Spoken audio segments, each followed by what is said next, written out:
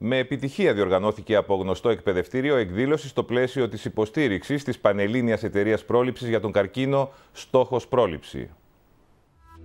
Μια γιορτή για την υποστήριξη της Πανελλήνιας Εταιρείας Πρόληψης για τον καρκίνο, στόχος πρόληψη, διοργάνωσαν οι σπουδαστές, οι καθηγητές και η διοίκηση του ΙΕΚΟΜΙΡΟ.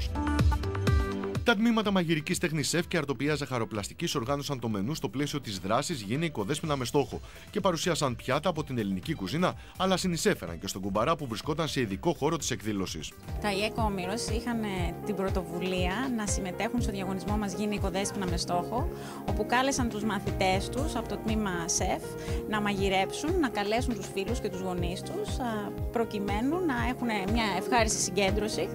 που σαν αποτέλεσμα αυτής θα είναι να συνεισφέρουν οικονομικά σε ένα κουμπαρά, όπου στη συνέχεια αυτός θα πάει στο Σύλλογο της Εκστρατείας Η Μόδα βάζει στόχο τον καρκίνο του στήθους. Την εκδήλωση τίμησαν με την παρουσία τους η πρόεδρος της Πανελλήνιας Εταιρείας Πρόληψης για το καρκίνο στόχος πρόληψη, κυρία Μαριλένα Στρατοπούλου, αλλά και σύσσωμοι καθηγητές και το προσωπικό της σχολής. Το να έχουμε ενέργειες, να έχουμε δράσεις ε, που βοηθούν ε, και στην ενημέρωση και στην πρόληψη για κάτι που αφορά όλους μας και μας χτυπά την πόρτα ανά πάσα στιγμή, αυτό το, νομίζω ότι είναι η ουσία της ζωής και η ουσία τη δράση και τη επικοινωνία. Όταν όλοι προσπαθούν για το καλό, σίγουρα κάτι πετυχαίνουν.